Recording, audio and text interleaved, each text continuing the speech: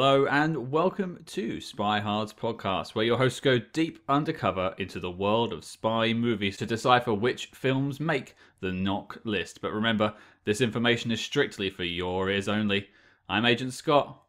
And I'm Cam the provocateur. Sorry, mate, have you got something stuck in your throat there? No, I just have a special set of skills. very, very special. Um, Not that special, really.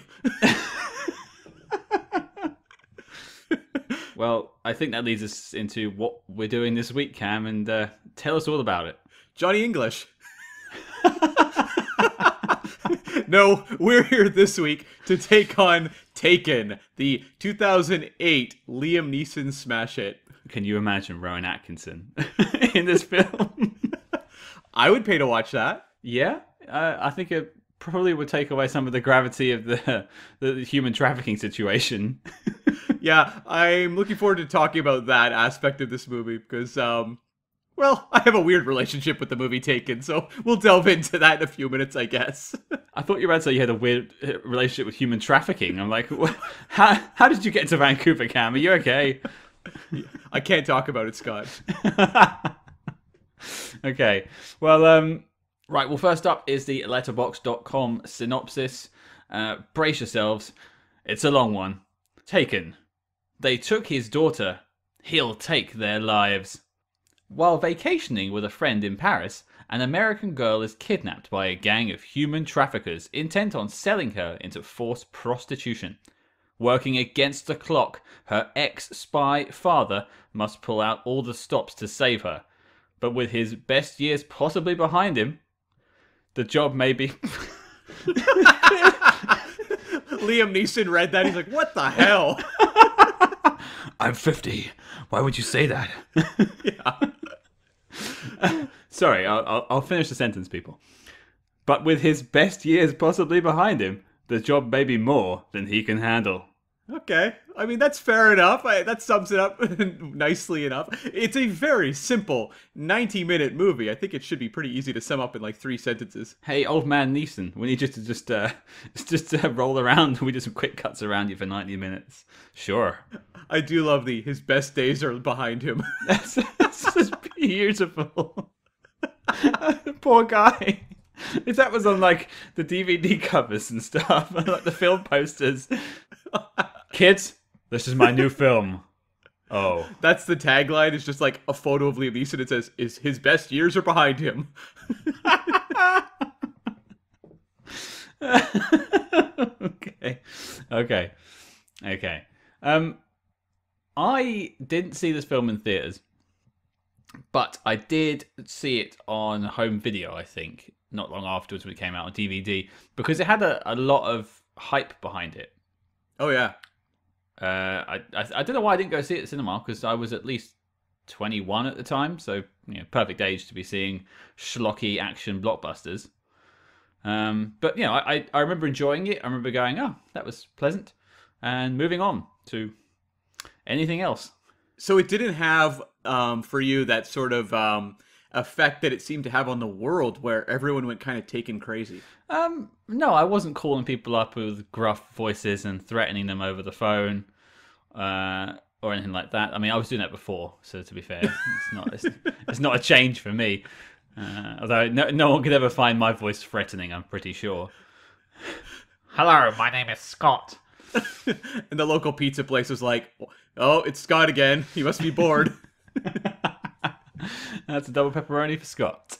Yeah. Um, no, I, I suppose I just kind of watched it and I thought, yeah, this is this is fine, a good little action film. But I I don't remember much about it apart from that phone call scene, which we've already spoken about. Really, that that seems to be the meme that came out of this film. I think maybe the meme was stronger than the film a little bit. Oh yeah. But uh, yeah, that that's really all I recall.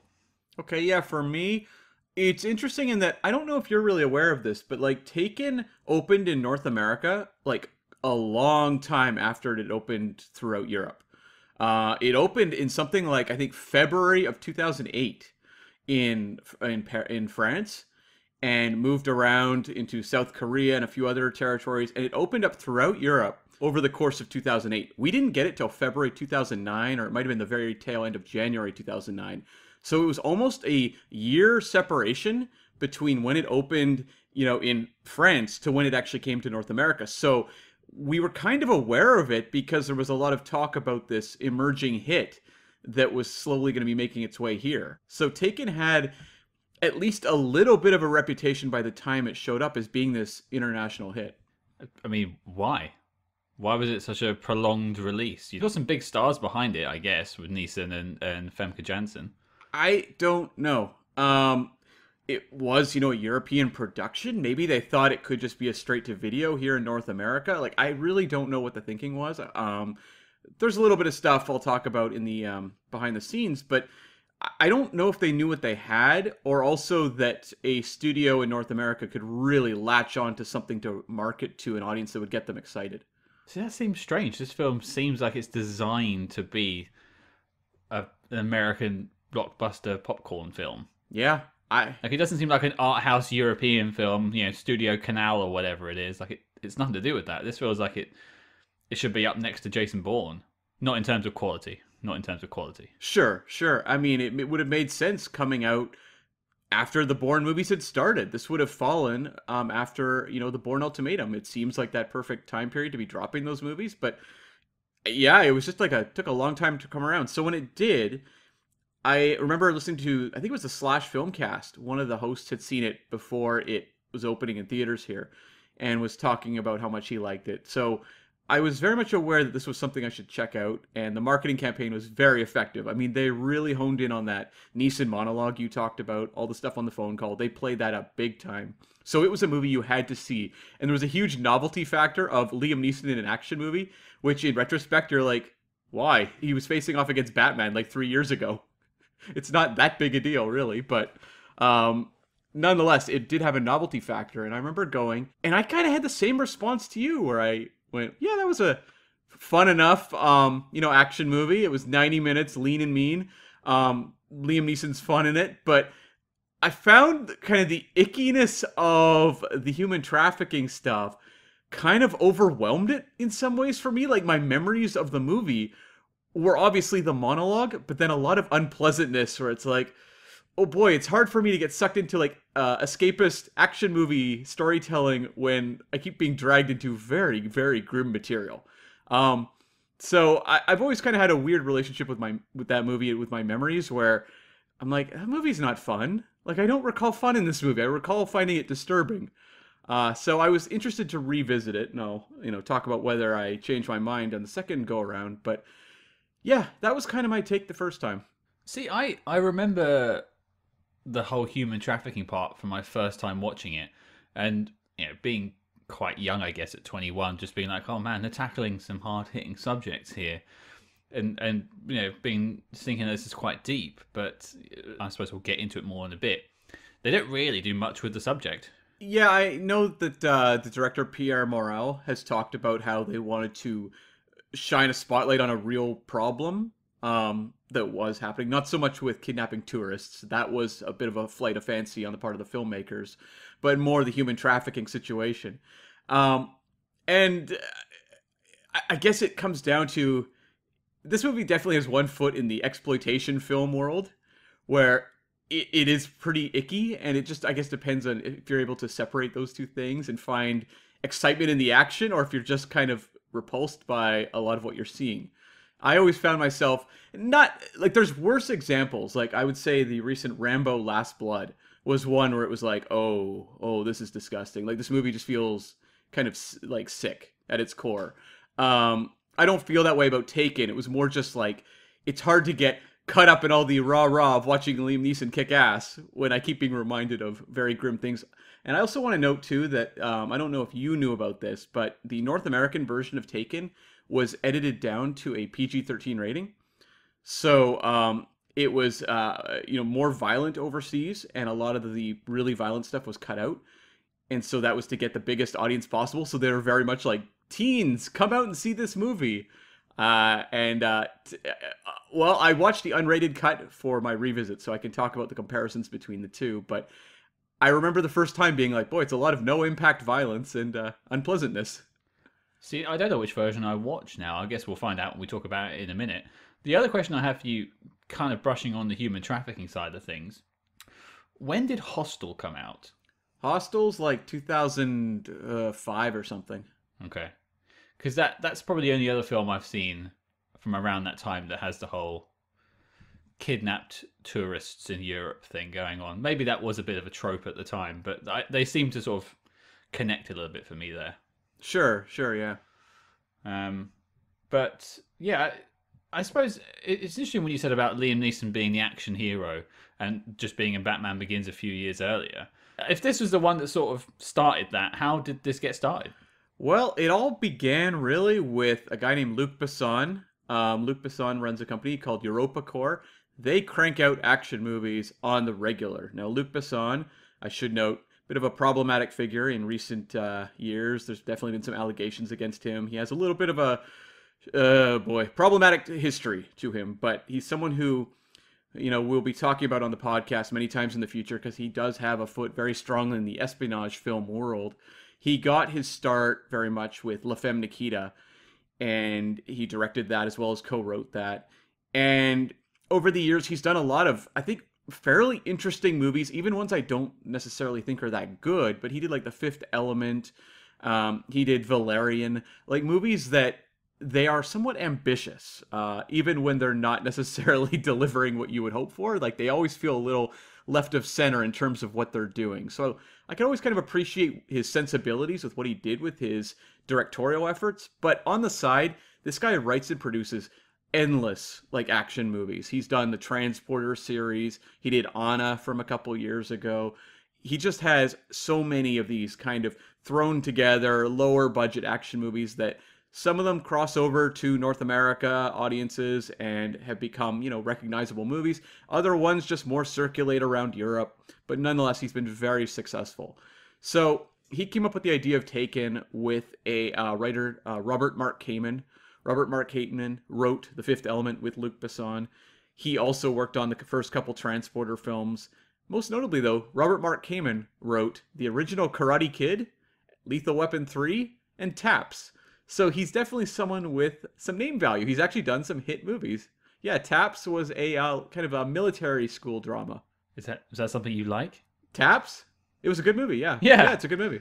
Okay, I'd never heard of it. Okay. Never heard of it. Um, but the two of these guys put together this uh, film concept, and they went to director Pierre Morel. Now, Pierre Morel had directed a Luc Besson movie just the year before called District B13. Have you heard of District B13?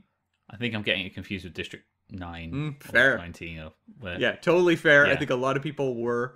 It's a parkour action movie, and it's a lot of fun. It was, I think, maybe the first parkour action movie. Uh, they remade it in North America called Brick Mansions with Paul Walker. That version is terrible, but if you can find District B13, it's a lot of fun. The sequel, not so much, but the first one, pretty awesome. I, I can't take parkour seriously, and that's mostly because of The Office. I think you'd like District B13. It's really fun, really high energy. Like 80 minutes, just races through. I, I mean, do, do you think I do parkour in my free time? Is that is that what we do here in London to you? Yes. Oh, okay. So uh, you've accused me of uh, a, a few things so far on this podcast. One of them is being in prison, and now you're accusing me of being a, a free runner in my spare time. So uh, I'm keeping track of this stuff. you were doing parkour up and down those Royal Albert Hall steps, recreating the Ipcress File. we, we will be. What, what? Look out for that cut coming soon.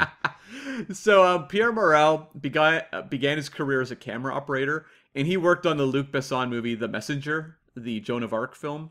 So that's how they got introduced, and then that relationship continued onwards uh, into Taken. And they knew they needed a leading man to ground this thing, and they found the perfect choice, Jeff Bridges. Uh, sorry, I wait. Was this like ten years before they pitched it, and then like because of script problems, it took ten years to get to Liam Neeson? Because Jeff Bridges in two thousand and eight. I don't know, man. Jeff Bridges was um, attached to this movie, and then he ultimately dropped out. So this was, you know, in an alternate universe, we could have been talking about Taken, starring Jeff Bridges. I, I don't know what I, I hate more: the concept of Johnny English in this film, or the dude. well, you got to think. So 2008, Jeff Bridges was also in Iron Man that same year. So picture that Jeff Bridges in Taken. I just keep seeing R.I.P.D. in my head, which is not far off, and that's not a good. That's not a good sign. We aren't quite in the era where Jeff Bridges talks like a cowboy all the time, so he probably wouldn't have been doing that here. Okay. Okay.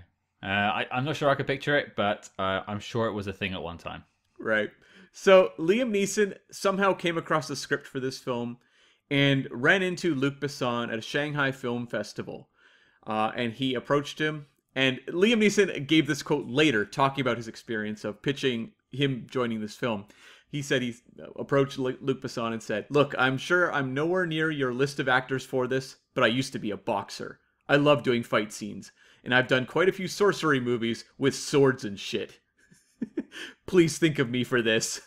It's so strange to think that Liam Neeson had to pitch himself. Well, I'm not saying like his name carried that like super value, but I mean he was in Batman Begins as Ra's al Ghul. Like he, the name carries some value, right? and just to like, please put me in your film, sir, just seems like a very nerdy thing to be doing in your fifties. He's also top billed in Star Wars Episode One, which obviously, you know, people have very polarized opinions on that film uh, over the years, but massive, massive success at the box office. So you think Liam Neeson could uh, get himself attached to a low budget European action film? or, or at least like get his agent to set up a meeting where he's not begging for it. You're like tracking him down in Shanghai and be like, "Hey, Mr. Besson, please take this. I, I beg you, put me in your film." Yeah. Like it just seems really weird that he has to do that. Hollywood man is is crazy. It really is. I don't even know that this is Hollywood. this is almost him venturing outside of Hollywood begging for jobs. no wonder he looked so good in that scene with the prostitutes. He he was doing that himself, but with scripts. yeah, trying to find where do I find the offices to talk to them about Taken. I need to know how do I pitch myself for Taken. Where's Miramax? so, um, he trained hard for this movie. He'd always wanted to do this type of movie because he was really into stunt training, um, gun training. He really loved doing that stuff. So he committed hard, trained for months, and according to Pierre Morel, this is the quote I always love. He did 99% of it, all his action. I'm trying to think of a scene where he shouldn't have done it himself. I mean, jumping off the bridge onto the boat was clearly not, not Liam Neeson. that, that's the one percent. That's the one percent. We've got it. Yeah. Uh, I, I, don't know. He looks. He looked the part. He wasn't like a Jason Bourne in in Jason Bourne fit, but uh, you know, he did look out of shape. Well, I mean, I love that quote though because they always like to throw that one around when they're talking about a actor not known for action movies doing these types of movies. They're like, oh, they did ninety nine percent of it, and it's like I feel like in the post Bourne era of more of this quick cut, um, I guess you can call it shaky cam action it's a lot easier to hide actors who don't uh, necessarily have the physical capabilities of being action stars. At least it didn't look like De Niro in The Irishman. Although that was one unbroken shot of him like beating a guy up on a street corner and it looking very much like a de-aged 70 something year old man. Can you imagine Scorsese being like just just after a day of just trying to get the shot right and just being like, "Okay, we're going to have to do this Bourne style. Get me four cameras and four angles." and De Niro's just like just like quick cut, quick cut, quick cut as he's cutting, as he's kicking the guy. I'm more shocked that like Scorsese watched this scene being shot and was like, "Yep, that looks good."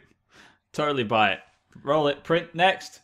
Yeah. Really didn't think of bringing in like a body double and then doing the CG after. They're going to be doing CG anyway. Why not?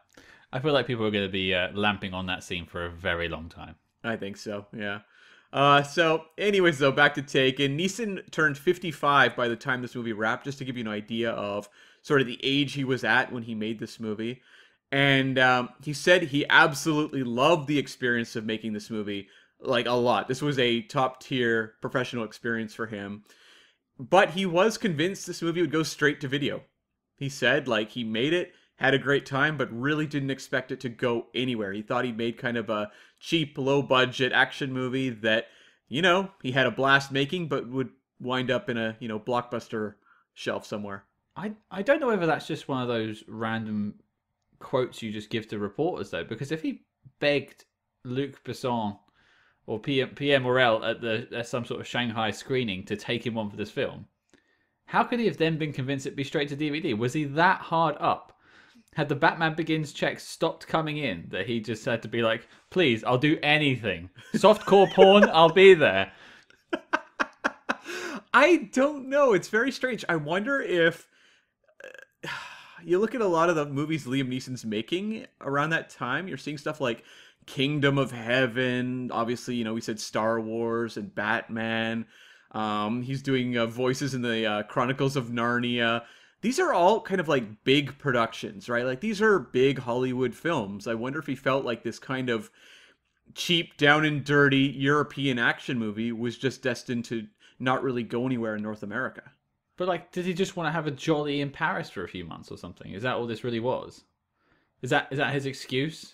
I, I wonder if he just really wanted to do a action movie like this, and that was not going to happen in North America. Like he just wanted that experience, maybe. So I mean, I I remarked on it just before, but, it, but this was definitely the first film that sort of set off that career path trajectory for him. Yeah, it was. Yeah. He hadn't really done an action film like this before. Not even because he did like I keep seeing Darkman being mentioned recently, like it's having some sort of resurgence, and that was kind of an action. I love film. Darkman. Yeah, I, I enjoyed it. I think when I watched it years ago, and that's kind of a superhero action film. I suppose it's not a gun film like this is though. Um, it's not very, not very physical. yeah. Uh, yeah, okay, maybe it was. Maybe he just wanted to try that one time and then found out he really liked it. Yeah, I mean, I think he's done a lot of movies with action. A lot. Um, even going back to like Rob Roy, he was doing tons of sword fighting in that. Um, I think it was more just the idea of the movie being Liam Neeson action star. That had never really happened. He'd done a lot of combat in films, but never movies that were pitched purely as here is Liam Neeson kicking ass. Fair enough. Yeah. So this movie cost $25 million. Domestically, it made 145 million. International, 82 for a worldwide total of 227 million dollars. Cha-ching. Mm-hmm. Yeah. Now, as I said, this movie opened in 2008 um, in international territories, and then 2009 domestically. Um, although at this point you're like, what is domestically really for this movie? But North America, it was 2009. Uh, so I'm gonna give the 2008 box office because that's the one it's listed under on all the box office ranking sites. So it landed at number 28 for the year of 2008, right between Get Smart and uh, Jumper. Both good films. I don't know that I'd say Jumper's a good film, but it was directed by Doug Liman, who did The Bourne Identity. So you've got uh, SpyHards connections on either end. I quite like Jumper. I thought it was quite a unique little little thing. Well, we'll have to stay tuned for uh, Jumpards. or, or maybe don't. uh, so the top three for this year number one was The Dark Knight. Number two, the most popular movie to mention on this podcast, Indiana Jones and the Kingdom of the Crystal Skull. And number three, Kung Fu Panda. It's funny that this is the year that Crystal Skull came out because I have some comparisons to make to that film later on. Uh, so I, I Oh, I, I think you know where I'm going with it. yeah, I look forward to that. I like how we somehow always find ways to organically weave in references to Kingdom of the Crystal Skull, a movie no one wants to remember. It has nothing to do with spies. Uh, not true. Not true. There actually is a spy in it. The Ray Winstone character, Indy's buddy, who switches sides back and forth between uh, Indy and the Russians like five times throughout the movie. Does that mean we have to cover it at some point? I don't know. That's an off-air discussion, I think. okay. We'll start like a, a GoFundus. If it makes a certain amount, we'll do it and give it to charity or something.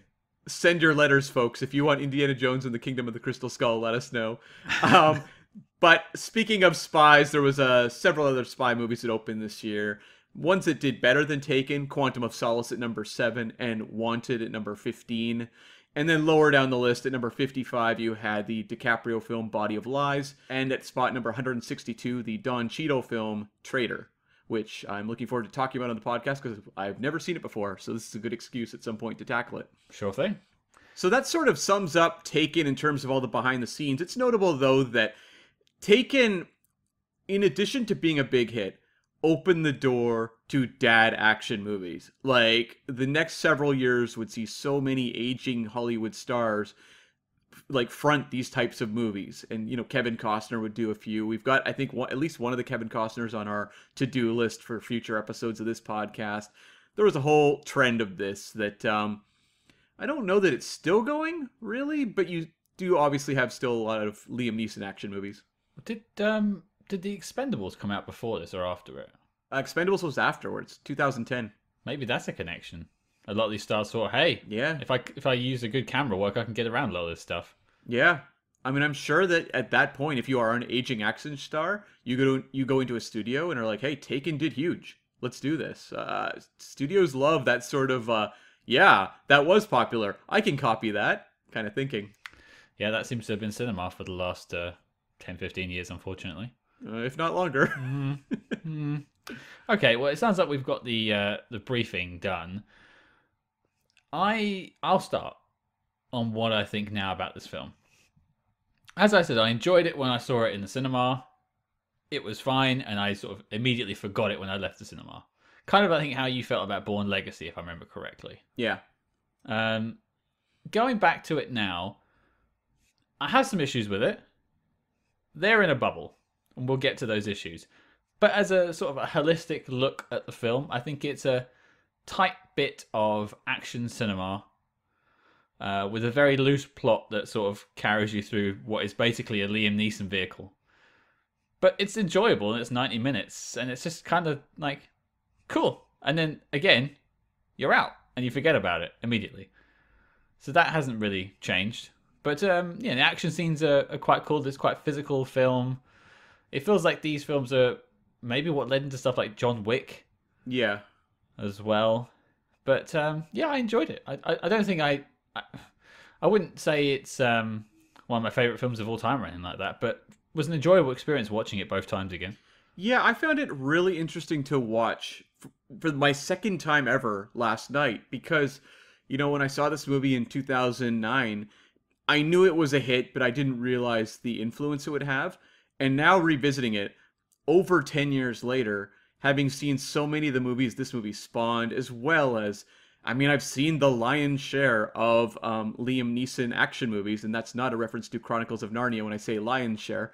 Um, Thank you, thank you. I'm here all week, folks. Anyways, um, I've seen all of the Liam Neeson action films for the most part, and it was interesting to go back and sort of see how fresh this movie felt in some ways. Like the storytelling is not fresh. This is pretty like hammered together, well-worn material. Like there's nothing particularly inventive about the storytelling of Taken. But it is fun to see Liam Neeson cast in this movie, made to look the most dad character ever. Like, I want to talk as we go forward just about how hilariously dad movie this is. Like, it's obviously written by two middle aged men. They seem very clueless on a lot of things that I think are going to be really funny to talk about. Um, but it has that real square kind of feel to it. And yet, that is also its charm.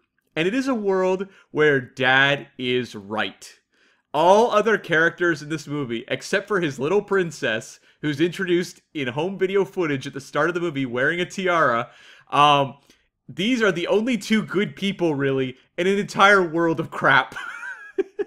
and it's all about how this relationship is all that matters. Like, it's really kind of unintentionally hilarious, but I also think you know, I say that not as a criticism because I think that's why the movie is fun to watch. It's because it is so square. It is kind of a conservative dream movie. But you tie that together with a lot of the hard hitting action of Liam Neeson just roughing up dudes. And it is fun to watch. I, I did enjoy kind of going through this very breezy 90 minutes. I think Pierre Morel just has this thing on rails for 90 minutes. It moves so quickly, the same way he did with District B13. Um, so it just kind of flies by and there was stuff i'll comment on you know i think as much fun as the hand-to-hand combat is the car chases are not exactly Greengrass level in terms of geography or coherence um, and you know there's some problematic elements of this film i think we'll have to talk about racially but uh, it is a pretty fun movie i found more more or less We could definitely nitpick things about this film, and there are some some holes that we could talk about. But you know that whole reference you made to it being like a dad rock type film, I I compl- I hadn't thought of it that way, but when you said it, it just clicked in my brain, and maybe that's exactly what I dug about it. Yeah. It feels exactly the sort of escapist cinema that the the single dad would have. You know, that yeah, he was right, and it, that is how the narrative of this film goes. He warns him, and he's right, and he proves he's right through the rest of the film. Um, and I think Liam Neeson is great in this film. He's basically the only actor in this film. Yeah. Uh, and yeah, to have him as the main, I think, was a good choice. He does carry the, the physicality of the film. You know, you said he was 55 when it came out, so I guess 54, 53 when it was being shot. I didn't doubt his skills. It wasn't like the De Niro kicking the guy. Poor De Niro. we're, kicking De Niro, I think. yeah. Uh, yeah, I, I on a, on the surface level, I think it's a very enjoyable film. Uh, breezy 90 minutes, as you said. I think the pacing's really good. The action is mostly fine, except for some sequences like you mentioned. Um, and yeah, I, I on that sort of level, I, I think it's fine. Liam Neeson is so invaluable here because he brings a gravitas to this type of movie, this kind of ridiculous movie, um, that is so necessary to ground it. Like, if you had him, uh, you know, swap him out with an actor who has maybe a little more of a known on-screen sense of humor, I think it might fail. Like, if you saw sort of that uh, wink to the audience a little bit of like the "Isn't this ridiculous?" it might make the movie collapse. And this is a movie that, in many ways, was on the verge of collapse throughout because there's nothing about it outside of you know the novelty of Neeson and what he brings this movie that makes it really special. Like if you swap this out with a different actor, maybe a lesser known actor that people don't have a relationship with, I don't think this movie really goes many places. You know, action fans may see it and enjoy it a bit, but I don't think it would have that sort of pop culture penetration. There's something about what Neeson does here where he is going through absurd situations by the end of this movie, like gunning up a boatload full of dudes. And there's never a moment where you don't think Liam Neeson believes he's doing this. no, you're, you're very right. Um, I, I was just I was just picturing in my head while you were talking. Um, anything else? No, I was picturing how Jeff Bridges would have handled this because he has that sort of comedic background as well. You think of you know, as I mentioned, um, the Great Lebowski, things like that. Um, maybe he would have had more trouble with it. Jeff Bridges would have been really interesting because I think you can tell that they wanted someone a little bit off center as to who you would cast as the lead. Because Jeff Bridges is also an odd choice. He's known to be kind of easygoing, laid back, not someone you think of as being this intense former CIA agent out on a vengeance quest. Like, you don't really picture that with Jeff Bridges. So I think it could have been interesting. Very different movie though, probably. And and maybe it plays into this film's favor. What we were talking about earlier, how this was kind of Liam Neeson's first dad action film. He hadn't really done like a physical gun action film before, and so seeing him in this role was a surprising choice. And you didn't sort of, I suppose, like you weren't used to him doing it, so you had to kind of buy it almost. Like he he was he's known as quite a well I don't know. Most of my experiences with Liam Neeson are things like The Phantom Menace and stuff like that. Um, Ra's al Ghul in Batman Begins. So I've known him always playing sort of somewhat serious characters, even though both of those are fantasy characters. Um, they're both quite serious, and so him being in this did ground the film definitely. And we'd had the everyman action hero thing for a while. Like I know Bruce Willis is considered the original with you know Die Hard, but I almost don't consider him so much of an everyman anymore because Bruce Willis is such an action ready actor. Like I know he wasn't necessarily considered that by the time he got to Die Hard in '88, but um, going forward, we think of Bruce Willis as an action star. But you, when you get to the '90s, you get like Nick Cage showing up in action movies or John Travolta, who don't necessarily fit the bill of action stars. But when I look at a lot of their movies, the movie around them is really big, like The Rock, Con Air, Face Off, Broken Arrow. These are like really big movies with, in many cases, directors that are very much of note, you know, like John Woo or Michael Bay.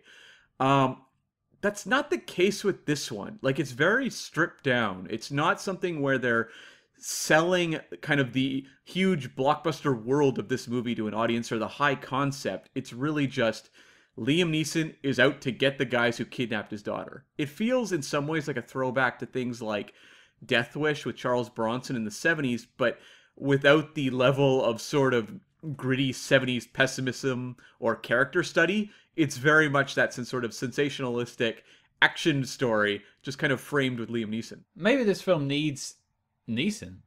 Then I think that's probably its biggest success, apart from propelling him into this career that he's had since. If if we had had one of these other actors that we've mentioned, I think it would have failed. Yeah, I may not have had the the the surprise to it. Like having Liam Neeson read that monologue through trailers, um, that sold the movie entirely. Like that's what had people on board. I think the poster has the text from that speech on the backdrop. Like they knew what was the hook of this movie, and I don't know like if you have Jeff Bridges read those lines, if it has the same impact. There's something about the uh, gravelly voiced uh, intensity of Liam Neeson that gets it across. Back to what I said earlier, I couldn't get away with it. Yeah, and I mean, were you a fan of any of the other Liam Neeson action movies that came out after this, or does this one stand out for you even still as kind of the head of the pack? And let's not talk about Taken two or three because we'll talk about those in the future. But just in terms of the other ones, I'll be honest, you'd have to name them for me to remember. right? Like they're very forgettable. Um, Nonstop is probably my favorite one that I've seen. That's the one on the plane. But there was like the commuter. There was Unknown. Walk Among the Tombstones. Um, there was one recently, and I don't know that I can't remember the name of it. I think it was called like The Marksman or something like that. I haven't seen that one. God, these sound generic. Yeah, they are right. Yeah. Um, no, I've no, I don't think I've seen any of them, and I don't think I need to. Right. Yeah. I mean, um, I think Nonstop's the only one I would say to watch. It's pretty fun. Um, well, let's pivot over to the story Mhm. at hand. I think it's where we can start to maybe maybe poke a few holes in this film before we we love it too much because it's a great action film. But you know, every story needs a plot. For those of you that are unfamiliar with the idea, is basically uh, Liam Neeson's daughter goes on holiday uh, in in France and is abducted by this uh, group of, I guess, Eastern Europeans who sell her into Albanians. Okay, okay Yeah. um, who sell her into the sex trade, and it's about Liam Neeson's journey, his quest to rescue his daughter. That's the idea. But the thing is with this film is it takes 30 minutes Yeah. to get her on holiday. And those 30 minutes are pretty rough. I don't know. Like, I okay, I agree with you in terms of being compelling cinema. Yes, but I found them often hilarious. Like, I got a lot of joy out of watching Liam Neeson just shop for the like most dorky karaoke machine for his daughter's birthday. Okay. Um, All right. Stop, stop, stop, stop, stop. The karaoke machine was something I needed to talk about, and I'm glad you brought it up. All right. The daughter in question is 17 years old. yeah, Now, before we get to the fact that she's getting a karaoke machine for her 17th birthday, can we talk about the fact that uh, Maggie Grace's character is basically instructed to act like a 13 year old? she swings her arms and runs everywhere. Did you notice that? Like every She scene, like frolics. She's Yeah. frolicking. Like, oh, oh, it's bizarre. it seems like every scene they were like, "Run, Maggie, run, run!" like, she runs to the door to meet Liam Neeson, and then she runs away, and it's like, wow, this character runs a lot. Yeah, um, and that that I found very strange. Um, and then the choice of the karaoke machine itself. You think, okay, how out of touch is Liam Neeson's character Bryan Mills that he's bought her a karaoke machine? I thought that was the joke. You know, he buys it from the shop, he wraps it, and you're like, oh, silly dad doesn't understand his kids. That whole that whole stereotype, you know. But she unwraps the present at her birthday party, and she's like, "Oh my god, a karaoke machine!" Now, I was 17 once. If someone bought me a karaoke machine on my 17th birthday, I would think that would have been the lamest present I could have ever received. Yeah, w- yeah. Is is that the lamest thing you could have had at 17? I don't. Would I have been excited about this? I don't know. Maybe I would have. I don't know. I I do enjoy doing karaoke, so uh, maybe. What, would you prefer that or a horse? Um, I don't really care for horses. I'll take the karaoke machine. she seemed pretty excited about the horse too. I don't blame her. And that's the thing is like they set Liam Neeson up as like the most like sad sack dad ever. It's like this is apparently a pretty much flawless man. Like I'm sure that this guy who was like running CIA operations um, in Beirut and things like that uh, probably wasn't the world's greatest guy to live with, but you would never know that from the movie. They're like, look how sad he is. He's made it back for his daughter's birthday every single year she's been alive. He has a sad photo album dedicated to birthdays where it's a single photo on each page for each of the, Maggie Grace's birthdays. It's tragic to watch. And he shows up at the party and immediately his ex-wife is just ripping him to shreds while Liam Neeson just stands there with a sad look on his face. He gives the karaoke machine, and then instantly the stepdad Xander Berkeley's character Stuart gives her a horse to completely make him look like a nothing. It's like this is the biggest sad sack character you could ever present. it, it's definitely quite emasculating at the start. Um, I don't know if that was by choice because like she loves the present, so I don't know. It's like this contrasting thing where she's not making him feel like a bad dad because she loves the karaoke machine, but obviously Xander Berkeley's character is, which is kind of a weird setup. And so here's my next problem with the the uh, Maggie Grace character. Okay, just fast forward five minutes. She proposes that she goes to have a, a holiday in France with her friend whose uh, cousins are away and they're going to stay in their house in Paris. Sounds lovely. Eventually, Liam Neeson's character agrees. Um, a couple of scenes with Famke Janssen basically disappears for the rest of the film. And then he finds out that she actually plans to do a tour of Europe. Okay. Uh-huh. Sounds and you mentioned earlier about these writers potentially being out of touch. And this is where this is where that comes in for me. Because he confronts her with this like plan and she goes, "Yeah, I'm going to go with U2's tour." U2? In 2008, they thought that a 17-year-old girl would want to tour around Europe following U2. That's insane. Absolute insanity on the part of those writers that they think this is what a 17 year old wants to do in 2008. Like, have they never heard of, uh, I don't know, like My Chemical Romance or something? Like, just name a band like that, and I'd go, yeah, sure, makes sense to me. You say U2 that the 17 year old wants to go watch a group of 50 year olds on stage over and over again, and not not also that well, I guess they had a lot of money because those U2 tickets are very expensive. I've seen U2 a few times myself, and they were not cheap. But I guess she comes from a lot of money. But uh, nonetheless, this was insane, absolutely insane. I, I, took the liberty of looking up 2008 in these sort of progressive rock charts. So I guess I she's a rock fan. She likes U2, pop rock. We've got like Kings of Leon. Yeah.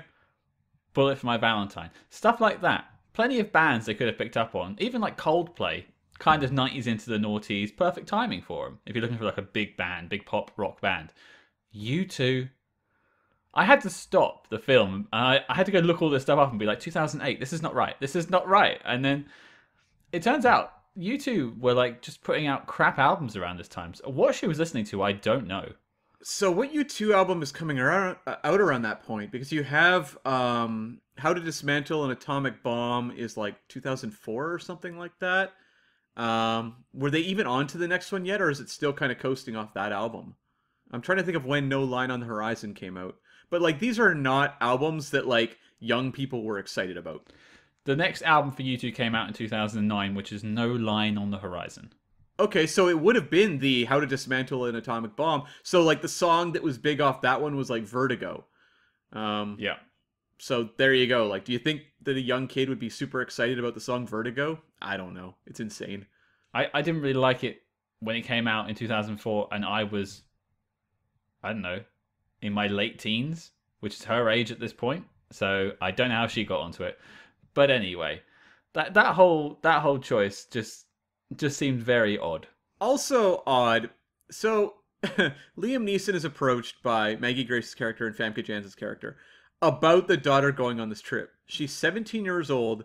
She's going to go alone to Paris with her 19 year old friend and stay with vaguely um, referenced cousins who we really don't know anything about. Um, I don't think Liam Neeson is wrong at all, and I think the movie knows that. This is the ultimate dad is always right movie because um this makes absolutely no sense as a parent. Like the fact that Famke Janssen's character even calls Liam Neeson pathetic for not wanting his daughter to do this is um it's a real ask. I think most parents would be like, yeah, it's probably not a great idea to send my 17-year-old to Paris. See, I I I didn't mind that so much because in Europe, not that I can say I'm part of Europe anymore. Um, thank you Brexit. Uh, you can travel a lot younger, and it's not so much of a like a, not faux pas, but you know, it's not a completely unknown thing. You do get 17, 16 year olds sometimes traveling. Uh, a lot of countries in Europe, you know, age of adulthood starts around that time. So that kind of makes sense for a European film, and I suppose this film does have roots in a European film. So I can almost forgive that. That could be it, actually. That Luc Besson may think that's normal, but I think for like an American family, that would be pretty strange. Yeah, I, I, but uh, this is what kind of led me to wonder whether this film was designed to have like a 14 year old as the Maggie Grace character. yeah. You know, things like the pony, the karaoke machine, that sort of daddy's girl you know frolicking running around thing I, I, and i know obviously with the material it goes on to tackle you definitely couldn't have a 14 year old character because that's just that's even ickier than what it already is but like i can't i can't equate like why they chose to do all this stuff with U2 and the karaoke machine and yet I, I just don't understand that all of these choices seem really weird and this is so this whole 30 minutes at the start are full of these bizarre choices that you're sat there going like huh huh Yeah. and and then the film kicks in. Um, I think at that point it then starts to get good. Yeah, I mean, once you have the sequence where they're breaking into her um, apartment there to kidnap her, and Liam Neeson's talking her through that sequence on the phone, that's like the most effective sequence in the whole movie. Um, it's very tense, it's scary, it plays exactly as it should. Liam Neeson, we see him already going into like secret agent mode where he's like pulling out tech and everything and sitting there. Uh, he's taken himself, uh, you know, off the like physical phone, has it on speaker, and he's sitting there looking intensely forward, talking her through this scenario.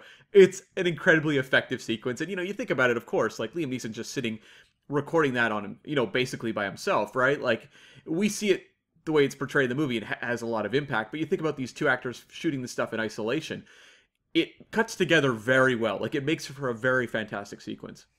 Yeah, as I say, as soon as they get to to Paris, really, because you have the scene of the of the no, I can't remember the name of the character, but like one of the assistants for the kidnappers who meets them at the airport and gets a taxi with them, and then you know gives the intel that there's two girls ready to be kidnapped in a house. You already know something's up. And of course, you you know you've walked into this film called Taken. They're gonna get taken. It's just a matter of how and when. So there's a tension from that point on, like how's it going to go down? And then you see, you know, Maggie Grace's character seeing her friend get abducted from the other side of the apartment, and it's scary. Yeah. And you can you can understand her fear of just being trapped in this foreign land with no power, and then of course Liam Neeson's character not being able to do anything himself apart from coach her through it. And he says to her, "Look, the next step is you're going to get captured." that's pretty shit news. And you're like, oh crap. But that's when, and as you say, probably the best executed scene in the film. Um, from then on, I don't have any major quarrels with it at all. No, it feels like that, though, as you said, is the high point of the movie. Like, that's the scene that people are going to walk out talking about when it's all over. Yeah, you, I mean, you get the quote that was in every single trailer. But again, I think it's an earned quote. It's probably the best bit of the of the film. I understand why they highlighted it. Yeah, I think it's just a shame it takes that those thirty minutes to get the wheels turning. I, I don't know if I agree with you. Like, I agree with you in terms of good storytelling, but in terms of my entertainment value last night, I found that half hour very amusing to sit through. well, uh, uh, one more little like side nitpick if we're going to talk about those thirty minutes. So there's a there's another character at one point during the thirty minutes. Um, Liam Neeson's character Bryan Mills uh, does a security job with his friends who have come to town at a pop star's concert. And this pop star comes back into it later. I, I don't understand why this whole subplot's in the film with the pop star. I don't know what it does, uh-huh. but it's here. Um, now they've chosen to actually get a pop star. to play this character. Were you aware of this? No, I wasn't actually. So they've chosen to get a British pop star, Holly Valance. Okay. Um, now she was popular, and this is why I think again there's like a, a dated issue with this film because Holly Valance was popular. I mean, she used to be. She's from Australia. She used to be in things like Neighbours, which is an Australian soap, for a, for a long time, and then she came over to the UK. Uh, and in about 2002, she had a couple of number one hits, um, "Kiss Kiss," "Naughty Girl." I think are a couple of them, you know, kind of popular, but she was gone by 2003. So then, getting her to come back and do this role in 2008 I don't know whether someone had the hots for Holly Valance and they just wanted to get her in the film. Uh, I, I don't I don't understand that choice either. I mean, given the writers, I'm just glad it wasn't like Pat Benatar or something. okay, yeah, yeah, yeah, yeah. I mean, that would have made the uh, rescue scene a bit weirder.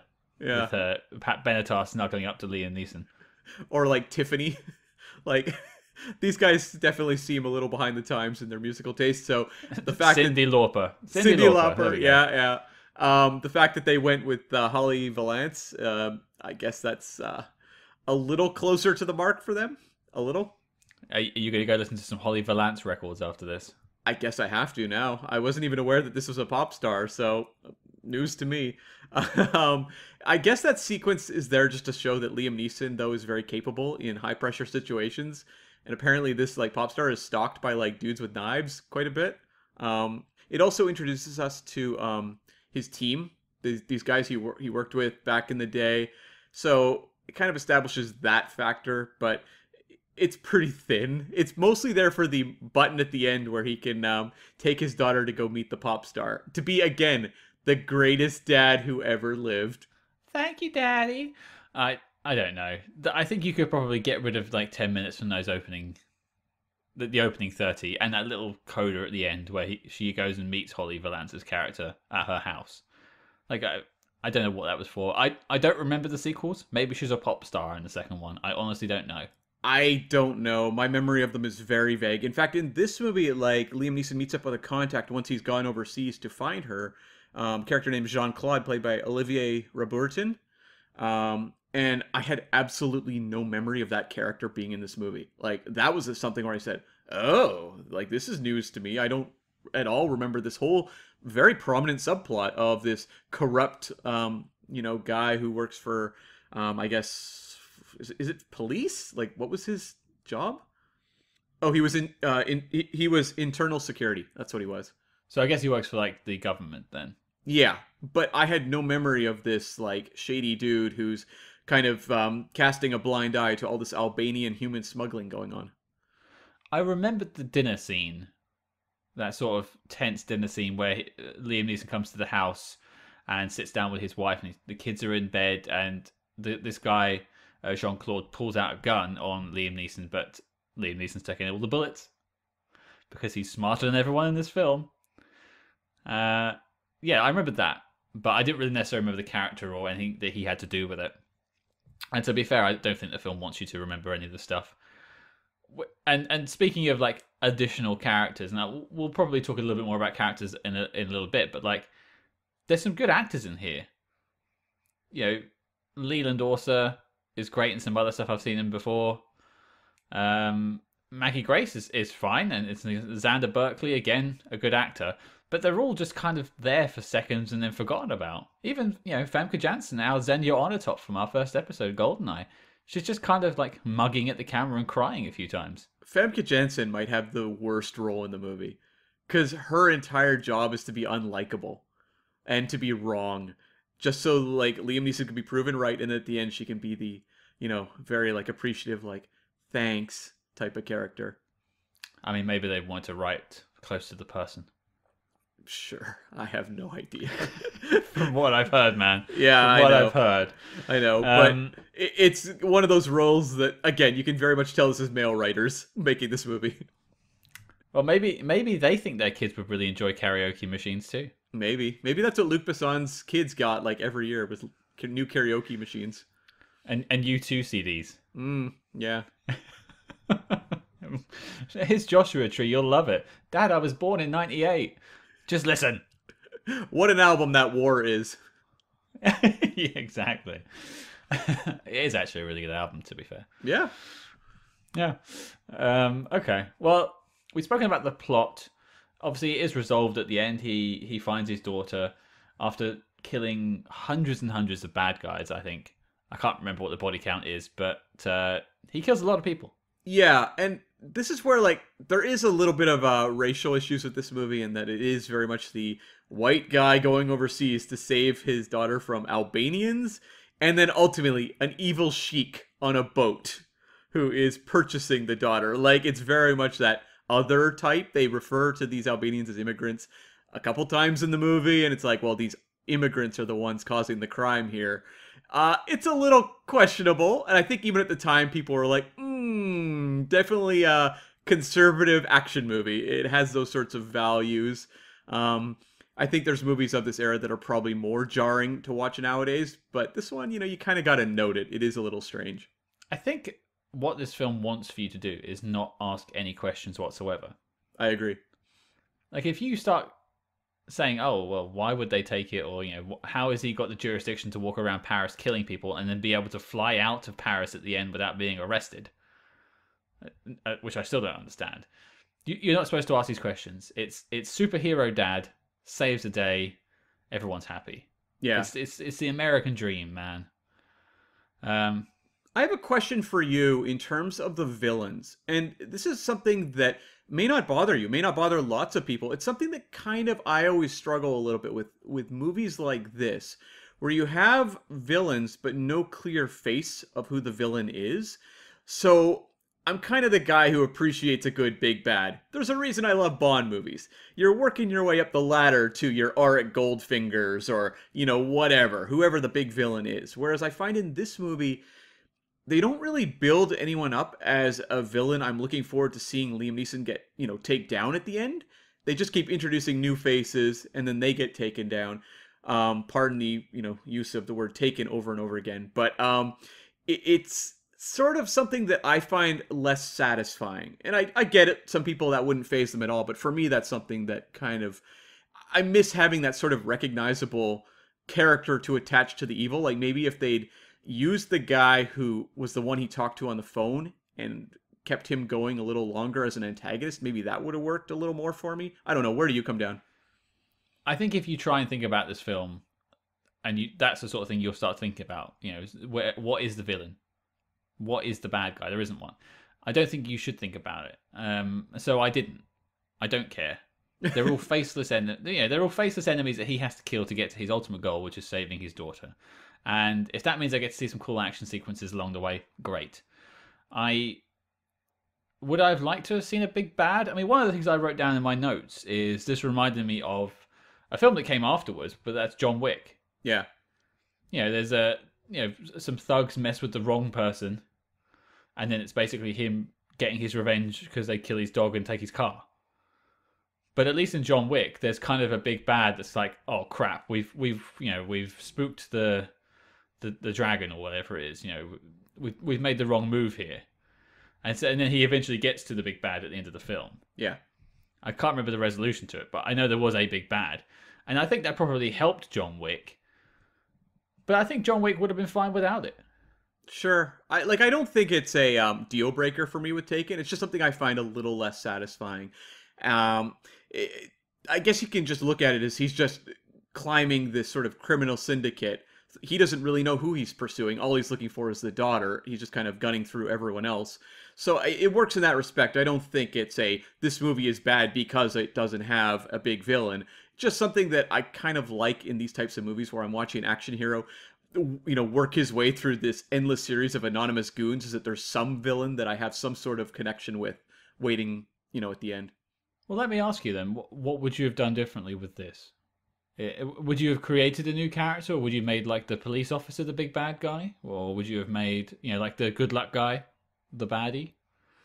I would have probably made the good luck character um, someone who we recognized at a certain point, and maybe worked him in more to the ending of the movie. Like maybe even make that voice something that pays off at the end. Like maybe he's at the boat overseeing, you know, the sale of Maggie Grace to this evil sheik character. Something like that. Yeah. I mean, that could have been easily achieved. You just need to see like his face during the phone call, Yeah. and then yeah, have him survive that assault on the uh, brothel, I guess, or whatever it is they were running in Paris.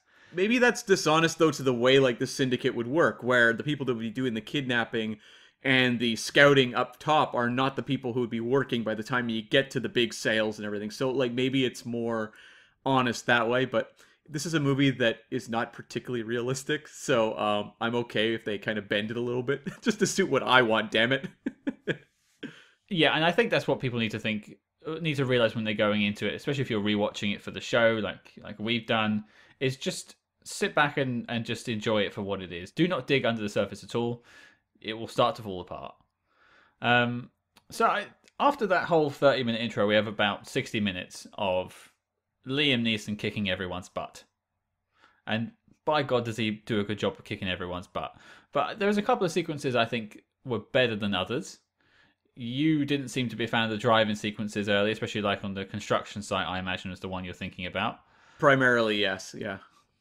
Yeah, a lot of like over the shoulder shots I seem to remember.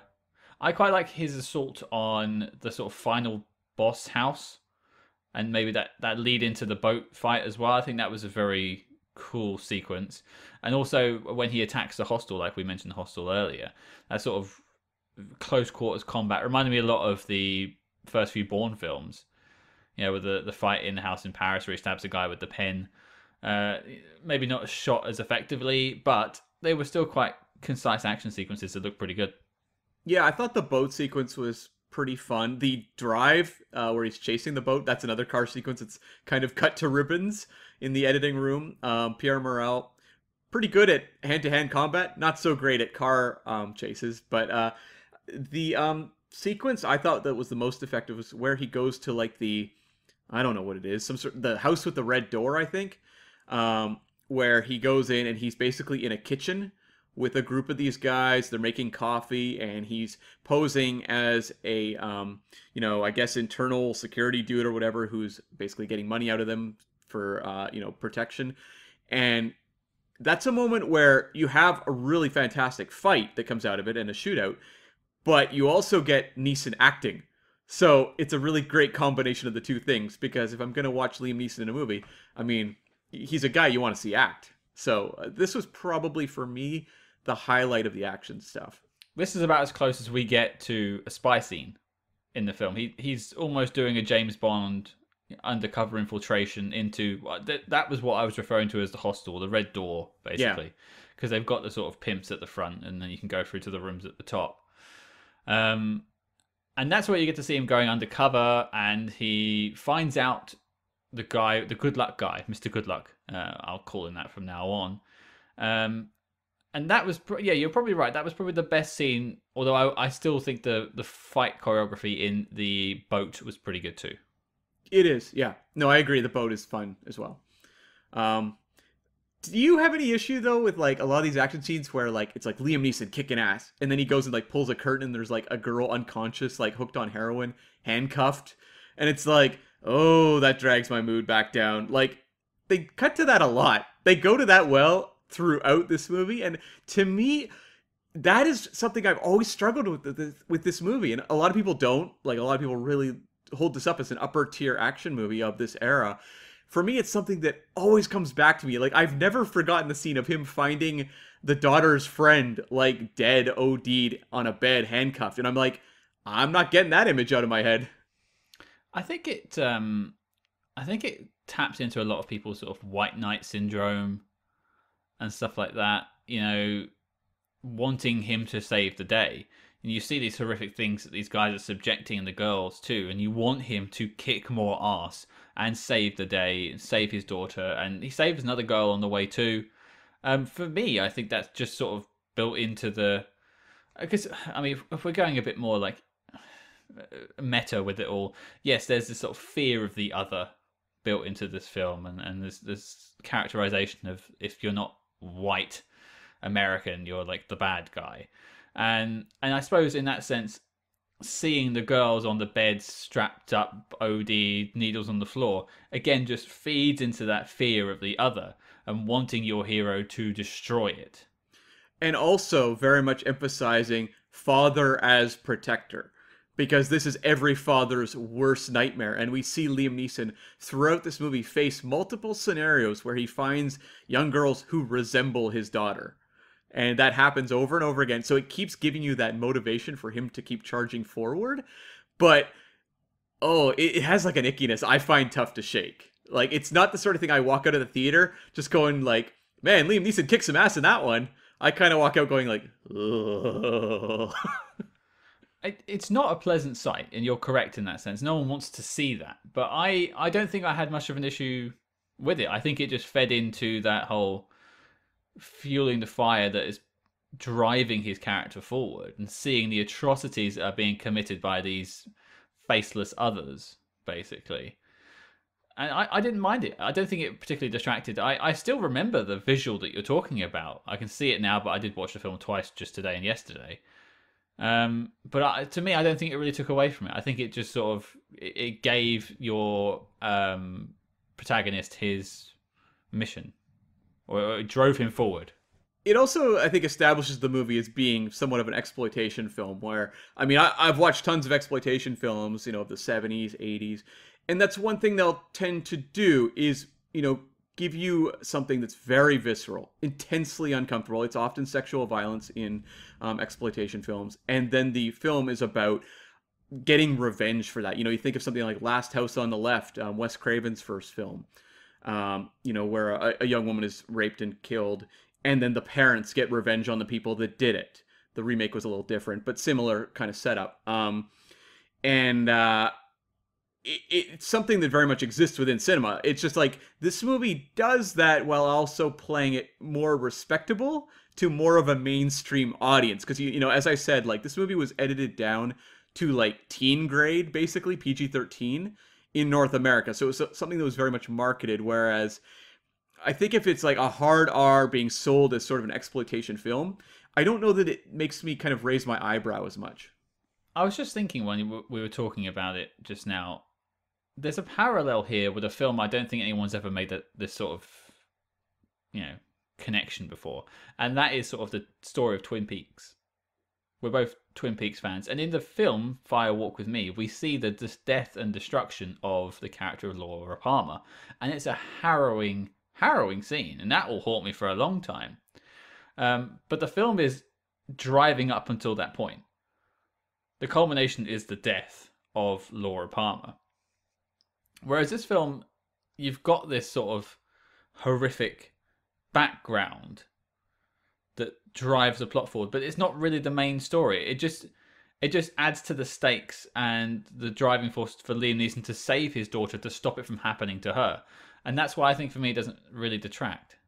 And doesn't really stick in my mind as much as it does with you. Sure, sure. Yeah, like I don't know. For me, it's always kind of had that uncomfortable kind of vibe to it, but it's also not something I hold too much against the movie in terms of what it's trying to do because it wants you to be unsettled by this. Like it's it's successful in doing that. It's giving you what Liam Neeson's worst terror is, what every father's worst fear is, and saying, you know, like he has to stop this from happening. So it's completely succeeding on its terms. It's just something that I find tends to cast a little bit of a pall over my ability to look at it as like an escapist action movie, like a lot of people view it as.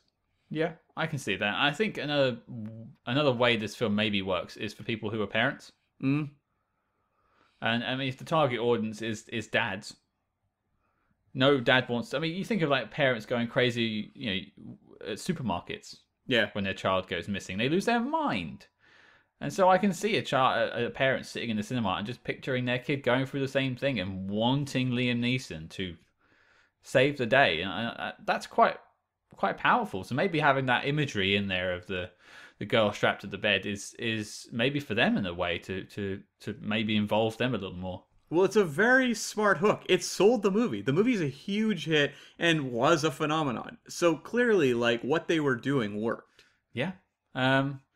So I had a couple of like final things to mention. Um. Did you have anything, Cam? Um, I'll mention, I guess, a couple things. Um, we talked about the pop star. I thought it was really strange. Her name was Sheerah.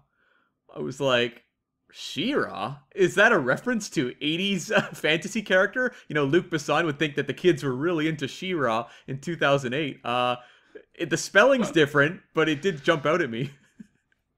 Well, we've discovered that they're completely out of touch, so it maybe it is just that. Yeah. The other note is um, we didn't really discuss them, but uh, you had his former team, Leland Orser, Jon Gries, and David Warshofsky. They show up for kind of a bro barbecue scene. They kind of don't do anything. Leland Orser um, does have a scene where he's analyzing audio and contacting Liam Neeson about the situation. But um, I remember when I saw Taken being like, oh man, the next movie, they've got to have these guys, like Liam Neeson leading those guys out on a mission. Boy, would the future disappoint me. What a waste of these three. Oh, I, don't remember. Did they not come back? They come back, but they never do anything. Oh, that's a shame. You feel like you'd want to get like the team together. Um, I but I, yeah, we mentioned it earlier when we were talking about the characters. There's such a you know, there's a there's a list of you know character actors in this film, and they all just have little bit parts. Yeah. And you think you think that why why did one of their team not go with him to Paris? They weren't doing anything. I know, like you'd think that they would be like, "Hey, we'll, we're with you. We're joining you on this one." They they've driven all the way to California to see him for his. I, I well, it wasn't even his birthday; it was his daughter's birthday. So I, I don't know why they came on that day, but they did. And so they're in town. Why don't they not just fly over on you know that uh, private jet that the stepdad arranged? Might have been a lot easier. Well, you know, I think we've established though this movie's all about dad. This is dad saving the day, and these three characters are not established as being dads. That's true. Uh, that is very true. Well, okay. I, I suppose I, I have a couple of final things then for you, Cam. Uh, one's a question. One's more of a comment. We had the guys from Impodible over for our Bourne Ultimatum episode, and they called Bourne Ultimatum a dumb smart movie. Okay, is this movie a dumb dumb movie? It's not smart.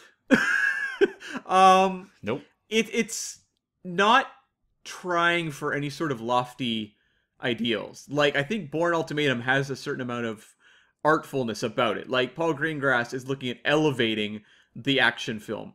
I don't think Luc Besson and his team here are looking to elevate this material, more deliver a solid exercise in this sort of action film. And I think they succeed at that, but I don't think it's a uh, particularly smart movie. I mean, let's be honest. When we watch Liam Neeson tracking this criminal conspiracy, um, he literally just walks up to the first like Albanian pimp on the street he can find, and that pretty much sends him on a collision course to the very end to the with the bad guys. Like, it's very, very, very easy for him to unravel this criminal conspiracy. There's no actual investigation work really. It it, it just this film requires you just go with it. He's going here, therefore that's the right place. Therefore he's done the right thing, and he's found his daughter. Um, so no, there's no there's no smart plot, uh, and it is full of dumb action. So I'm I'm sticking with this film as a dumb dumb film.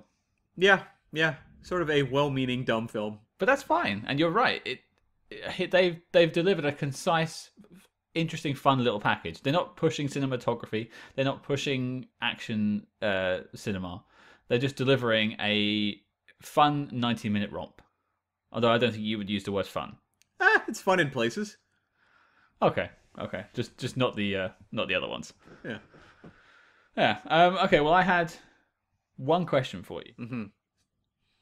Liam Neeson's character of Bryan Mills has a particular set of skills. What's your skill?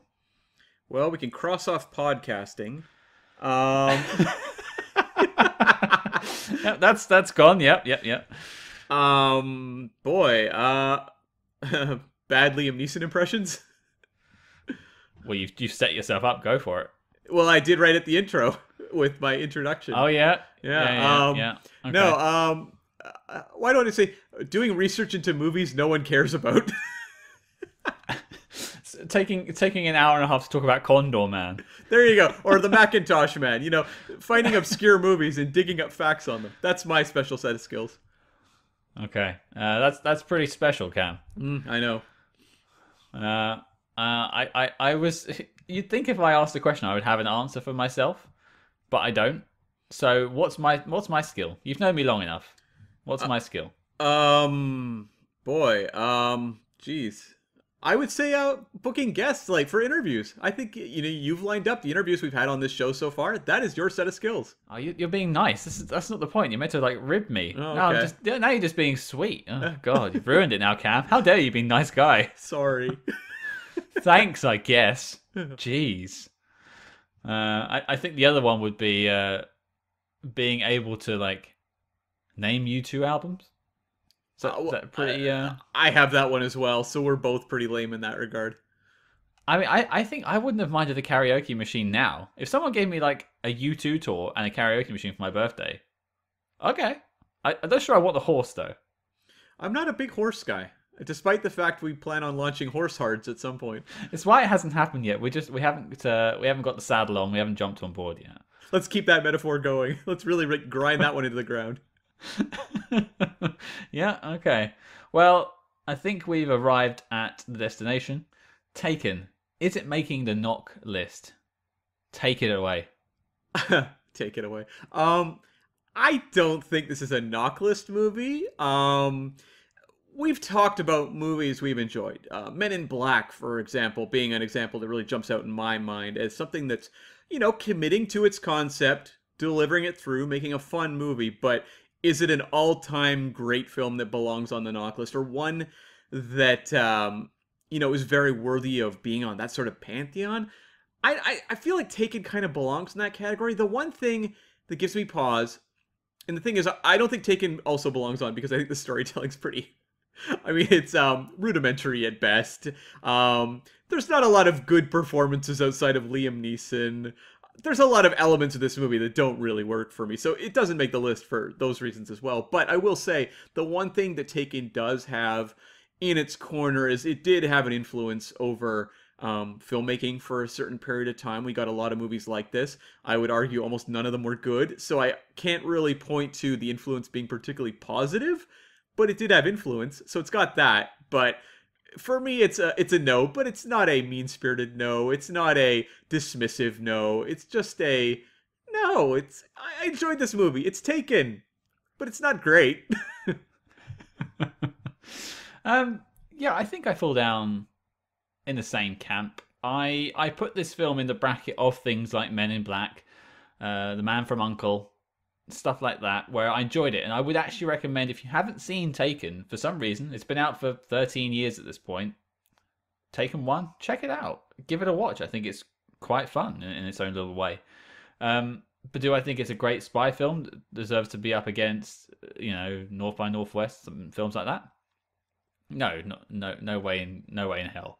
But I would recommend people watch it, and that's where I, that's where it, that's why it sits with, you know, Man from U.N.C.L.E., Men in Black. I'm sure there's some other ones that we've we've covered because we we spoke recently about um, Our Man Flint, and originally you weren't on board with it going into the NOC and I talked you round, and that's because I sort of pitched it as a historical document important for that genre of comedy spy films in the sort of Bond and spoofs from the 60s. And, you know, you, you said that this film does inspire a lot of films that come on from that. But I don't think any of those films were strong enough either. So it's just inspiring bad films.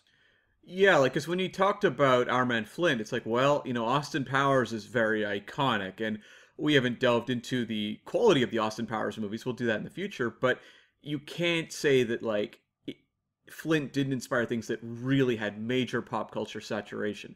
Whereas like movies that were generated out of the Taken craze, there was ones that were box office hits, but like I don't think any of them that are come to mind for me really became kind of those runaway, you know, word of mouth movies. Like some of them did okay, but like none of them were particularly popular. It doesn't feel like you get sort of the next big movie kind of like this until probably John Wick, which you referenced, um, which takes action in a different direction than what Taken was doing. Yeah, John Wick pushed the envelope a little bit. Like it, it tried to be something different, um, much like Flint did in a way. So yeah, but uh, so I think that's why I come down on. No, it was an enjoyable film. It's 90 minutes, and I always love it when these films are 90 minutes. I can't stand these two and a half hour, three hour sagas. Uh, and if you haven't seen it, check it out. But uh, it's not making the NOC list. No, and we will talk about per, uh, Pierre Morel's follow up to this from Paris with Love at some point in the future. So I'll be interested to track where he goes after this movie. I saw from Paris with Love back in the day.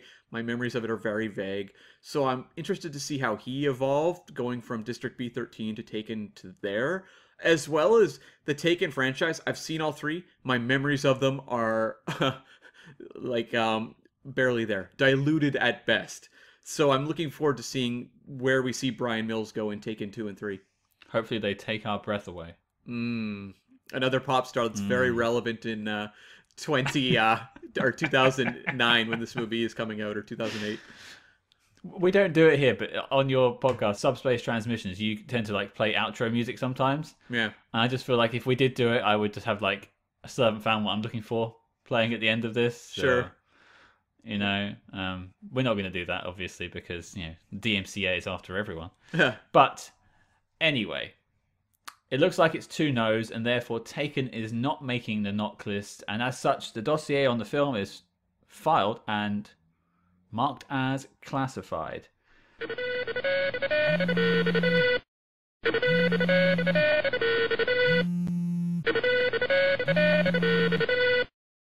Hello? Is that Agent Scott? Uh, yeah. Who's this? Well, never mind, do I? Well, actually, no, I should probably tell you. My name is Tom Hardy, mate, from Peaky fucking Blinders, and I have a bone to pick with you, son. Uh, okay. What's up?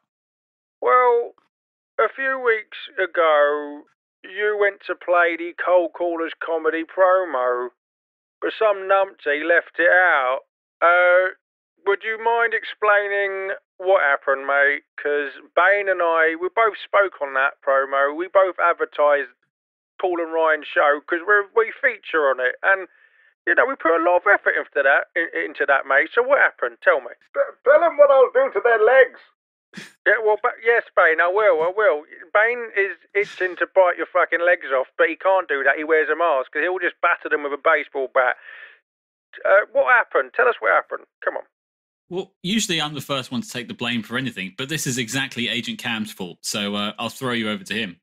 Uh, I just wanted to embrace chaos that week. I just threw everything up in the air and wanted to see where everything landed with that edit.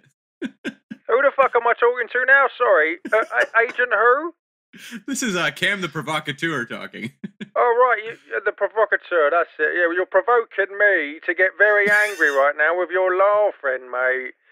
Listen, I don't care whose fault it fucking was. I just want that promo in. Now, Agent Scott, I don't care if we're related, mate, second cousins, twice removed. I will remove you from life if one of yous doesn't put the promo back into your, the, you know, another episode, the next episode if possible, mate.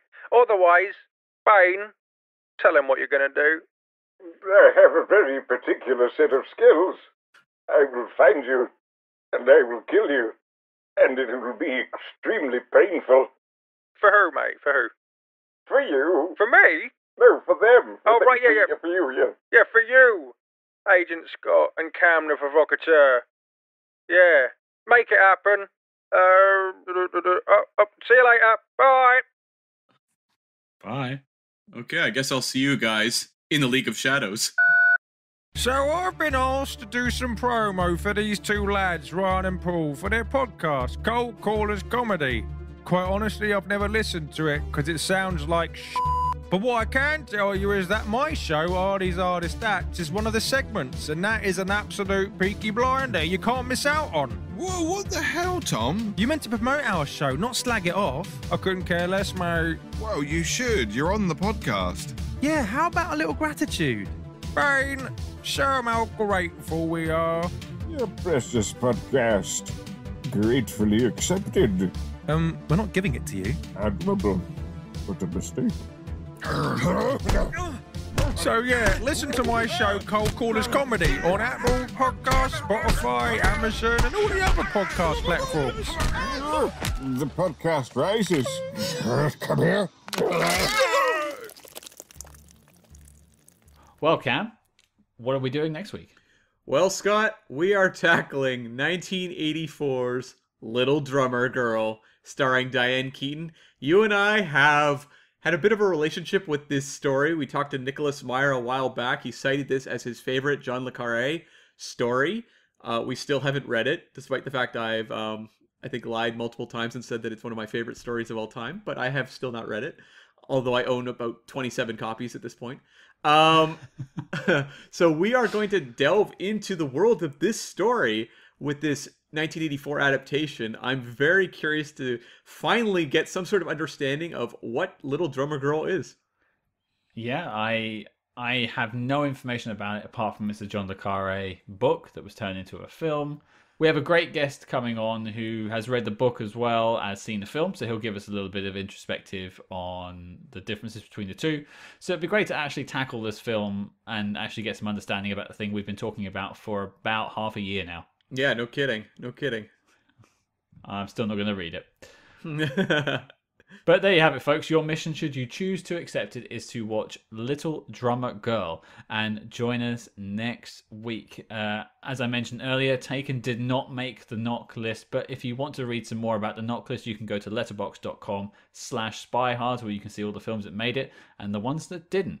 We are, of course, a proud member of Quite the Thing Media Podcast Network, and you can find out about um, you can find out more about Quite the Thing at quite the quitethingmedia.com com. It's a great group of podcasts, ourselves included. Check them all out. And you can, of course, follow us discreetly on social media at Spyhards. That's S P Y H A R D S on Facebook, Twitter, and Instagram. But until next week, listeners, good luck.